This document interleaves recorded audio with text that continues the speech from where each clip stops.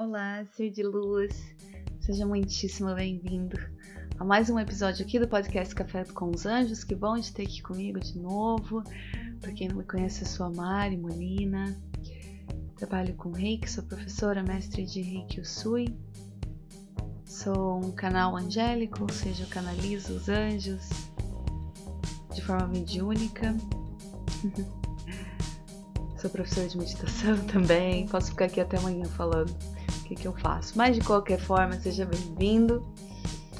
É, hoje eu tô vindo aqui falar sobre provavelmente dos temas que eu mais amo nessa vida, que é o reiki. Falar um pouquinho, porque tem tanta coisa para se falar do reiki. Eu ia ter que fazer um podcast só sobre reiki para eu poder abranger tudo que o reiki é, o que o reiki faz, tudo que está relacionado ao reiki.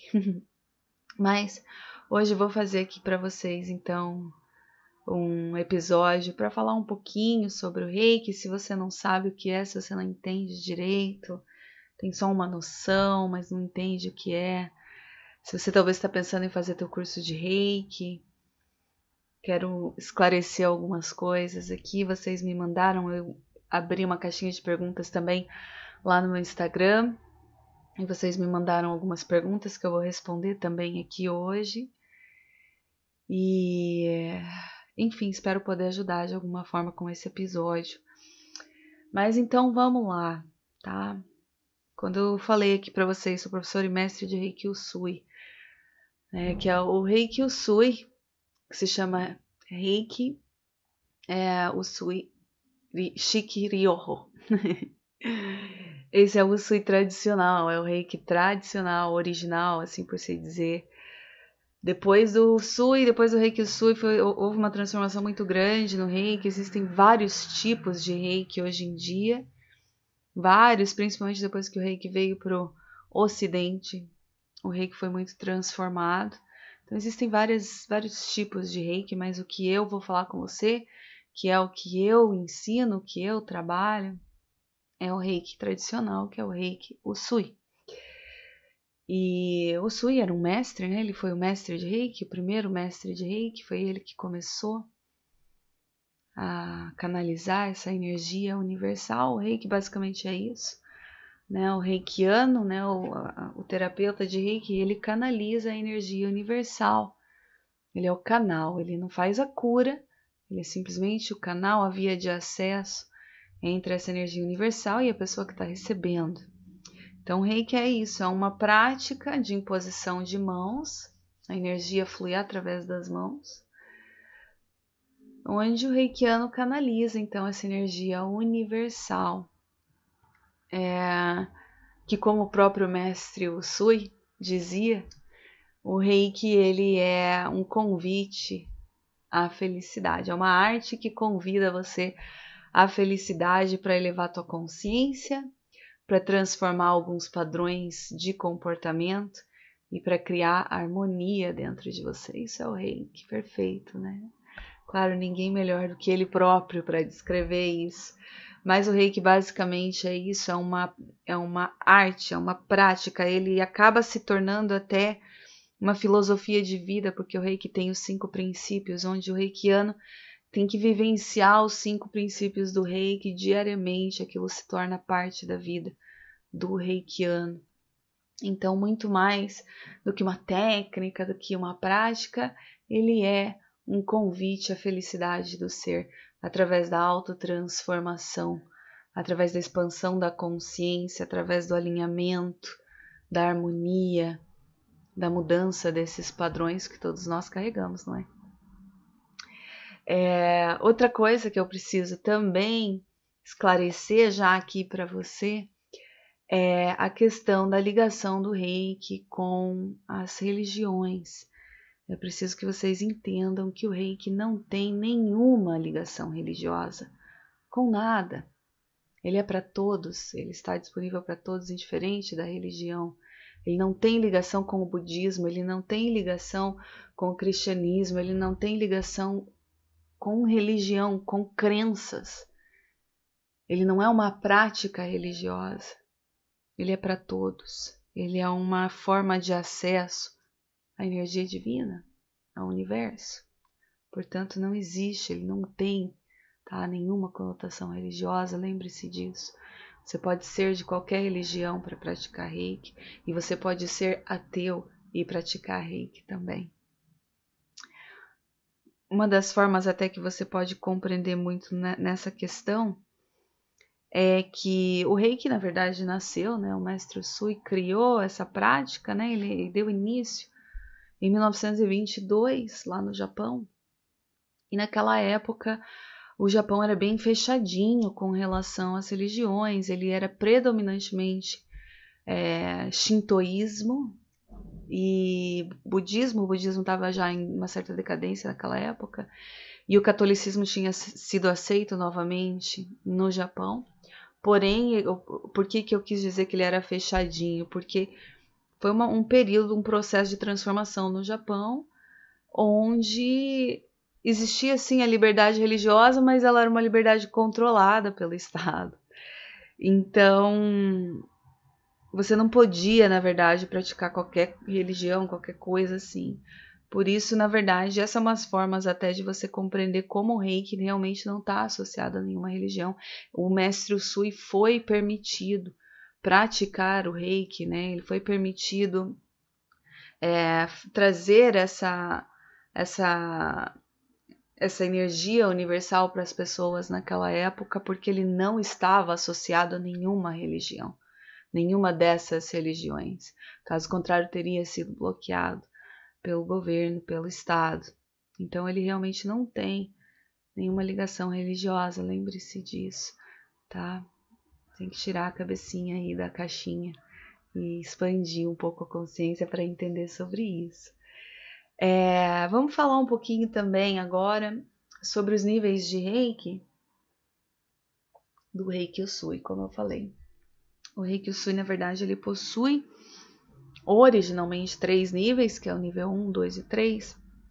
Ah, mas, como eu falei, ele sofreu algumas mudanças. Existem hoje algumas escolas, algumas tradições do reiki Usui que dividiram, na verdade, em quatro níveis, que fica o 1, 2, o 3A e o 3B. A diferença deles, enfim, deixa eu explicar para você a diferença em cada nível rapidinho. O nível 1 é o nível em que você é 200% focado em você, na tua cura, na tua transformação, na tua elevação vibracional, na tua expansão de consciência, na tua conexão com a energia, é, na tua prática em si, na forma de você se, se comunicar com, com esse processo, de você compreender as vibrações. O, o nível 1 é o nível, provavelmente, o nível mais importante dos três níveis de reiki, dos quatro níveis de reiki. É o mais importante porque se não houver uma base bem estruturada no teu início de jornada como reikiano, é, infelizmente tem uma chance grande das coisas desmoronarem no caminho de você se desconectar da tua prática. Então, no nível 1, você, o foco é esse, é você realmente se transformar, é você realmente passar por um processo profundo de, de transformação dos teus padrões, de compreensão em como é, é tão importante esse processo de como você se comunica com a energia, porque cada pessoa se comunica com a energia de uma forma diferente. Então você precisa passar por esse período de conexão com você, para que você entenda como a energia está se comunicando, como os bloqueios, como você sente os bloqueios. É muito importante o nível 1. No nível 1 você pode também aplicar reiki em pessoas próximas, os teus familiares, amigos, pessoas que você já tem contato com a energia, com a vibração deles, já está acostumado com aquela vibração, você também pode aplicar. Porém, como eu falei, o foco não é nessas pessoas, o foco é uma constante transformação e alinhamento da tua energia no nível 1. No nível 2 de reiki, você vai então, a partir de então, você vai ser terapeuta de reiki. Então, no nível 2, você vai ser sinto... Tô falando, como eu falei, tô falando do reiki tradicional, o Sui, tá? No nível 2, somente no nível 2, você vai ser sintonizado aos símbolos de reiki. Há três símbolos de reiki. Existem zilhões de símbolos de reiki que não são da prática Usui, né, do tradicional. No tradicional, são três símbolos que você é sintonizado no nível 2. Como eu falei, a partir do nível 2, os teus canais se alargam, então você acaba canalizando mais energia e você tem capacidade, então, de curar, né, de curar não, de levar a energia para mais pessoas. E, a, e, supostamente, até que você chegue no teu nível 2, você já está bem firme na tua energia, você já está bem alinhado, bem harmonizado, com uma consciência bem mais elevada. Então você está realmente preparado para lidar com outras energias que você não conhece. No nível 2 você vai conseguir também começar a fazer envios de reiki à distância, para o passado, para o futuro, para outra cidade, para outro país. Também tem essa capacidade no nível 2. E como eu falei, a partir do nível 2 você se torna então um terapeuta de reiki, um reikiano, um terapeuta. Você já é reikiano desde o nível 1, mas você se torna um terapeuta de reiki a partir do nível 2. No nível 2 você já pode começar a atender as pessoas, a fazer disso um trabalho e, e ser realmente um terapeuta. Depois o nível 3A é o nível de mestre, é o nível que você é sintonizado ao símbolo de mestre de reiki, o teu canal de canalização, né, essa via de acesso com a energia é gigantemente ampliado. O mestre de reiki consegue canalizar a energia de uma forma bem mais rápida, bem mais fluida, voltando novamente ao, ao a, a, linha de pensamento que esse mestre de reiki está completamente a esse ponto completamente alinhado transformado. É, por isso que a prática do nível 1 é tão importante, porque você vai ter que fazer auto-aplicações em você o resto da tua vida, porque essa faz parte da responsabilidade do reikiano, se manter alinhado. Então você chega no nível 3A, você vai ser sintonizado a esse símbolo de reiki, né, de mestre, você vira mestre, aí você tem o título de mestre de reiki. É, e depois, essa é a diferença, o 3B que não é para todos, não é todo mundo que quer fazer o 3B. Tem gente que quer simplesmente chegar ao nível de mestre e fazer os seus atendimentos. Mas no nível 3B você se torna professor de reiki. É no 3B que você vai aprender a sintonizar outras pessoas, você vai aprender bem a parte técnica do reiki em si, os materiais, o conteúdo que tem que ser dado em cada nível. Não existe nenhuma sintonização no 3B, não existe nenhum símbolo, nada extra com relação à energia em si. O 3B você vai simplesmente aprender como dar aula, como sintonizar, como é, ensinar o reiki para outras pessoas. Essa é a diferença. Mas, como eu falei, existem escolas que ensinam o 3A e B juntos. Que também pode ser. Mas eu, eu, eu, pessoalmente, aprendi separado. Acho que é importante até aprender separado. Porque, como eu falei, não é todo mundo que quer dar aula.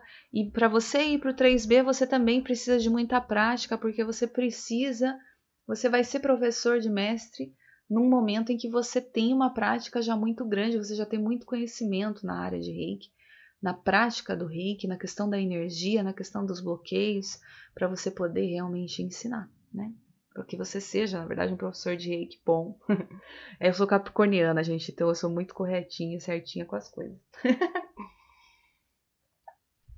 Enfim, é...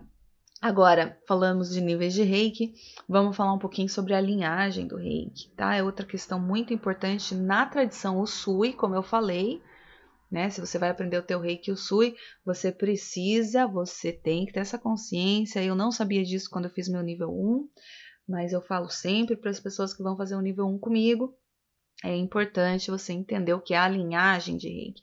O que isso significa? Você só pode ser sintonizado ao reiki por um mestre de reiki. E é aí que está a linhagem. A linhagem faz essa conexão de mestre para mestre para mestre até que ela chegue no mestre Usui, que foi quem criou o reiki, foi a primeira pessoa que canalizou a energia do reiki.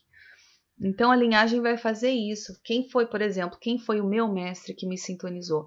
Quem foi o mestre que sintonizou o meu mestre? Quem foi o mestre que sintonizou o mestre do meu mestre? E você vai indo para trás na história, né, na, na, linhagem, quem sintonizou quem, até que você chega no mestre Sui. Você tem que chegar nele. A energia que eu fui sintonizada foi uma energia que começou lá com ele. Realmente eu tenho essa conexão energética com ele porque eu tenho a minha linhagem de reiki Então a minha linhagem ela é toda estruturada e eu tenho todos os mestres que passaram depois do Usui e que trouxeram a energia até mim. Entende?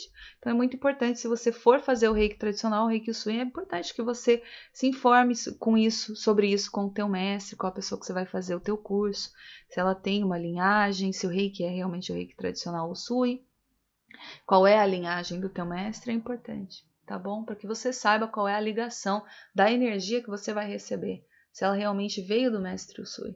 Porque é o que eu falei, existem um zilhão de tipos de reiki, o reiki foi muito modificado no ocidente, Muitos não têm nem conotação, nem ligação nenhuma ao mestre Usui. É chamado reiki, mas é uma outra forma, uma outra prática de cura de energia, de terapia holística. Não é o reiki Usui, tá bom? É... Agora, eu tenho aqui uma pergunta que eu recebi. Na verdade, eu recebi uma pergunta parecida, mas eu também é, vi essa pergunta na internet e eu acho muito importante a gente bater nessa tecla. Eu vou sempre falar sobre isso. Quem me segue faz tempo sabe o que eu penso sobre essa questão. Mas vamos lá, que é importante ficar aqui gravado para você colocar na tua cabeça. Tá? A pergunta era: Eu acabei de concluir o meu nível 1. Eu posso fazer o meu nível 2 amanhã? Gente, isso é uma questão muito. É o que eu falei, eu sou capricorniana, eu sou muito certinha. É uma questão muito delicada mas é, o que, que eu posso te dizer? Isso é uma responsabilidade tua e do teu mestre. Basicamente isso. Eu, como mestre, jamais vou dar treinamento, jamais vou fazer sintonizações dos meus alunos, nível 1 e 2, próximos um do outro. Os meus alunos que são alunos meus de nível 1 sabem, nível 2 também, sabem que eu dou sempre no mínimo uma média de um ano de intervalo para fazer o nível 2, tá? Uma média. É... Gente, o reiki é uma, é uma coisa para a vida, não adianta você querer apressar as coisas. Mas, como eu falei, é uma responsabilidade tua e do teu mestre. Eu só quero que você pare para pensar no seguinte: o reiki, o que, que é o reiki? Quando você é sintonizado ao reiki, ao nível 1, você é sintonizado a trabalhar com energia, tá? A transformar a tua consciência, como eu falei. A alterar os teus padrões de comportamento, a ampliar a tua vibração, a encontrar a tua harmonia. Então eu te pergunto, eu quero que você pare para pensar nisso. Você acha realmente que de um dia para o outro você vai conseguir absorver todos os princípios do reiki, todas as aprendizagens do reiki, e você vai conseguir de um dia para o outro trazer todas as mudanças que você precisa em você, para que você faça o nível 2 no dia seguinte? Eu quero que você pare para pensar nisso. Entenda que a gente não pode jamais curar os outros, levar a energia do reiki para os outros sem que a gente esteja curado, sem que a gente esteja harmonizado por completo, sem que a gente esteja num nível vibratório alto, numa consciência expandida, é impossível. Ai, Mari, mas é assim que funciona e não sei o que, eu já fiz o curso assim. Eu quero que você entenda uma coisa. Se você tá cheio de bloqueios e você vai lá e começa a aplicar reiki num atendimento, numa pessoa que você nem conhece, a tua energia vai ser muito fraca a, a energia que você está canalizando quase não vai chegar na pessoa. Porque você está cheio de bloqueio, a energia vai encontrar vários bloqueios na tua própria energia antes de chegar na pessoa através das tuas mãos. Entende? É importante demais ter essa responsabilidade, gente. A gente, como ser humano, quer as coisas rápidas, a gente quer os resultados ontem. Você quer se tornar um mestre de reiki em três dias. Como é que você pode dizer que você é um mestre? O que, que significa ser mestre? É você, é você ter é, é, chegado num nível em que você tem, em que você sabe daquilo, em que você não tem dúvidas, você é confiante com aquilo, você aprendeu aquilo realmente na prática. É igual um médico, você não vai formar um médico em um dia. Ele vai ter que a vida inteira dele ele vai ter que estudar, ele vai ter que praticar. O reiki não é diferente disso. Eu quero que você entenda, tá? Então para simplesmente para pensar nisso. Será que de um dia para o outro você vai conseguir absorver todos os princípios do reiki? Você vai conseguir estar tá confiante? Você vai conseguir ter absorvido todas as aprendizagens que você tem com o reiki, consigo mesmo, com a tua vida, com a tua energia? Será que você tem essa capacidade? Se tiver, parabéns. Depois você me conta como é que você faz, porque eu gostaria de saber. Enfim, é, Vou falar agora outra pergunta que eu recebi, que é a seguinte: Por que, que a gente só pode fazer reiki à distância a partir do nível 2? Por que, que não se pode fazer reiki à distância a partir do nível 1? E a gente volta para essa velha história do que eu estava falando agora. Quando a gente parte do princípio fazer reiki à distância, a gente está partindo do princípio de uma ampliação energética muito grande para a tua energia alcançar essa proporção de ultrapassar tempo e espaço, o teu canal tem que estar tá muito aberto, a tua fonte de canalização de energia. No nível 1, o canal não é assim tão, tão alargado. Você não faz uma canalização energética tão forte quanto no nível 2. Você não tem os, você não tem os, os símbolos, você não tem aquela força energética suficiente para enviar a energia para que ela ultrapasse as barreiras do tempo e espaço. E como eu falei, você fazer um reiki à distância significa que você vai enviar reiki para pessoas que você não está em contato com a energia delas. E você, como reikiano de nível 1, você não tem preparação para estar tá em contato com energias que você não conhece.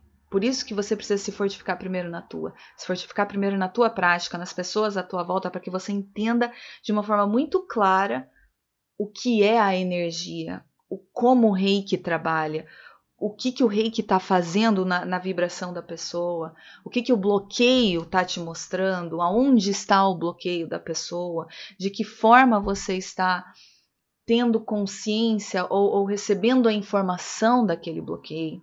Você precisa estar tá muito.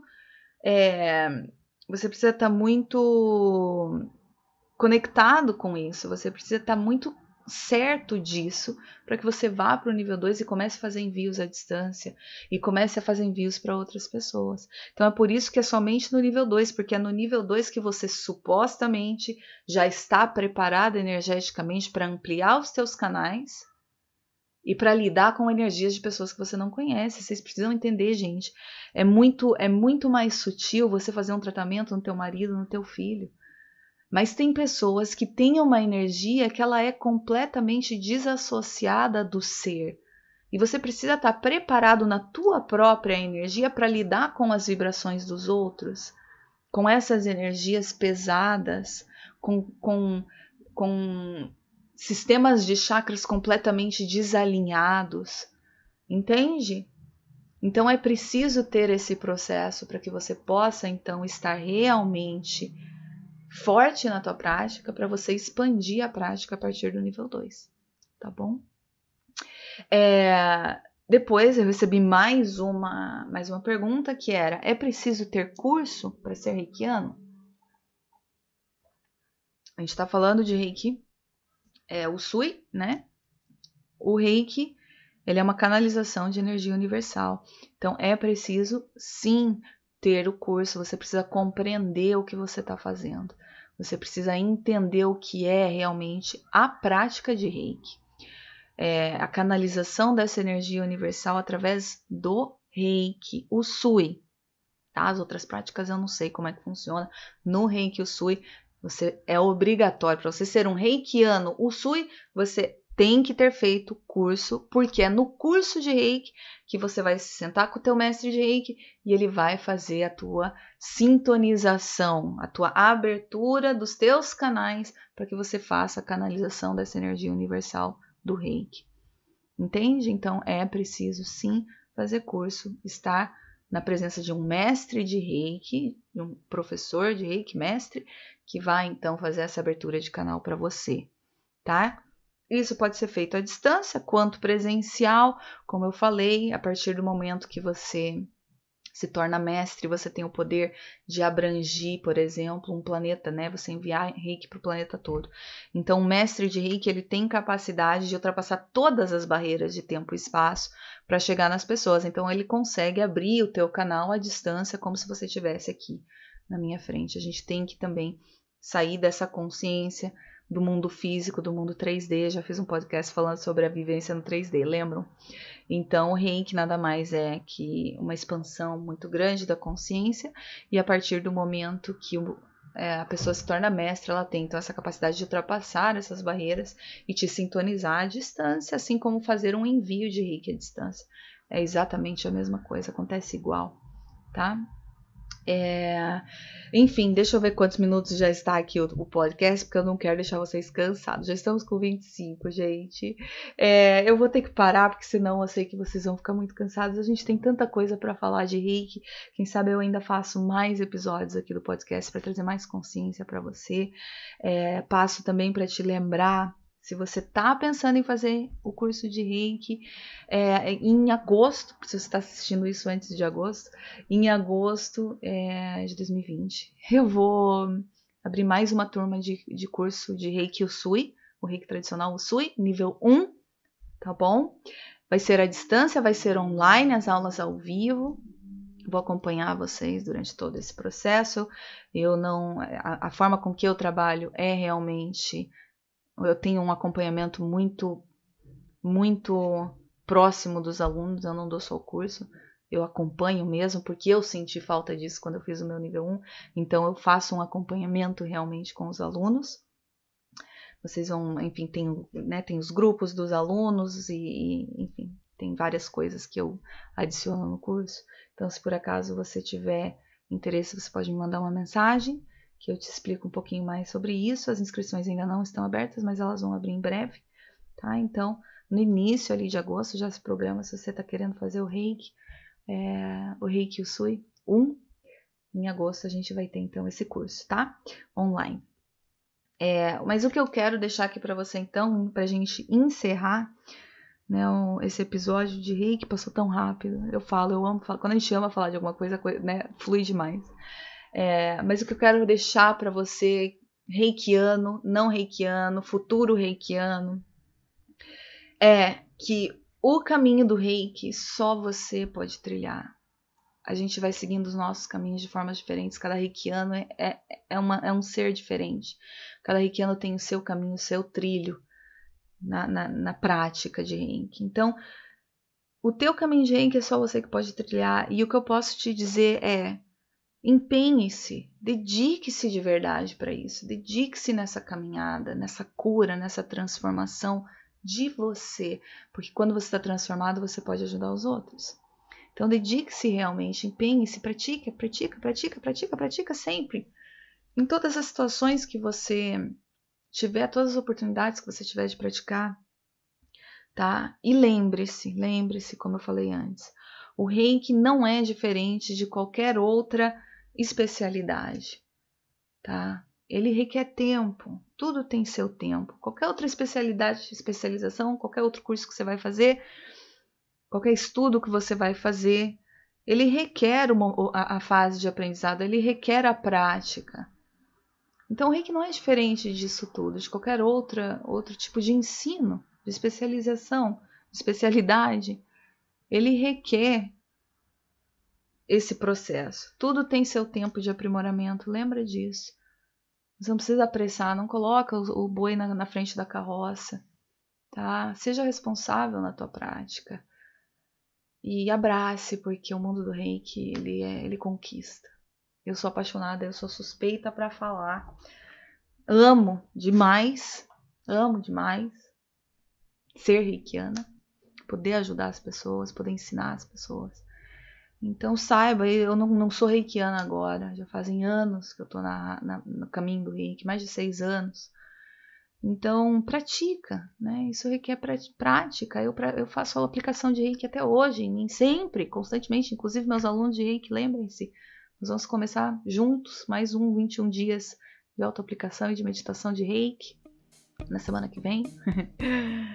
é, então lembra disso, tá bom? Aprimora, se empenha e abraça essa prática com carinho de verdade, para que você realmente perceba o que é a prática de Reiki, tá? Para que você não fique daqui a um ano procurando uma reciclagem de Reiki, porque você se sentiu completamente desconectado da energia.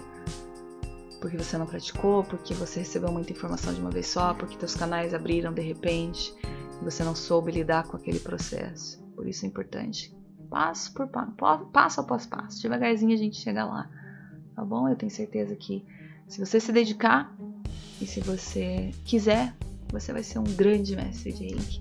Eu vou estar aqui para caminhar com você de mão dada e te ajudar durante todo esse caminho tá bom? Fica bem, ser de luz. Muito obrigada por estar aqui comigo mais uma vez, mais um episódio. É um prazer imenso te receber aqui. Se você é novo, lembra de se subscrever, de se inscrever aqui no podcast, tá bom? E a gente se fala em breve. Se você tiver mais perguntas sobre o Reiki, pode me mandar nos comentários, me enviar uma mensagem privada no Instagram. Eu vou sempre te responder com muito carinho. Fica bem. Que os anjos te abençoem hoje e sempre, te tragam consciência na tua prática, te inspirem diariamente. A gente se fala em breve mais um episódio do podcast Café com os Anjos. Gratidão, gratidão, gratidão e namastê.